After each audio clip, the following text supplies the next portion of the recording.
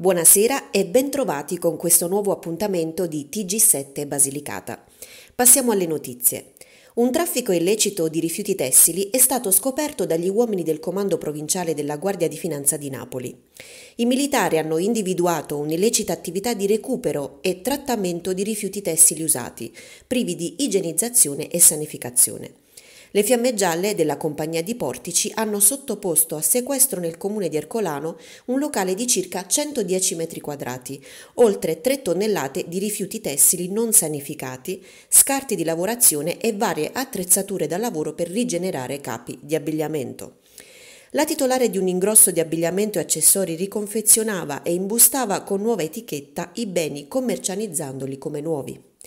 La responsabile, una 39enne di Ercolano, è stata denunciata per frode in commercio e per violazione al testo unico sull'ambiente.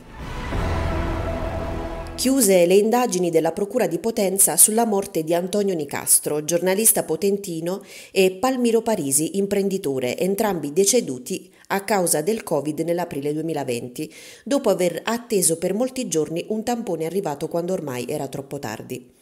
Sono dieci le persone indagate, il direttore sanitario dell'ASP Luigi D'Angola e Michele De Lisa, direttore dell'unità operativa di igiene pubblica, oltre ad alcuni medici e infermieri del pronto soccorso e del 118. Secondo la Procura di Potenza ci sarebbero state negligenze da parte dell'ASP e dell'ospedale San Carlo. Parliamo ancora di emergenza sanitaria e nella giornata di ieri sono stati processati 6.334 tamponi per la ricerca di contagio da Covid-19, di cui 1.072 sono risultati positivi. Nella stessa giornata si sono avute 819 guarigioni. Registrati inoltre due nuovi decessi di persone residenti in Basilicata, una a Potenza e l'altra a Lavello, oltre a un altro decesso di persona residente a Caprarica di Lecce.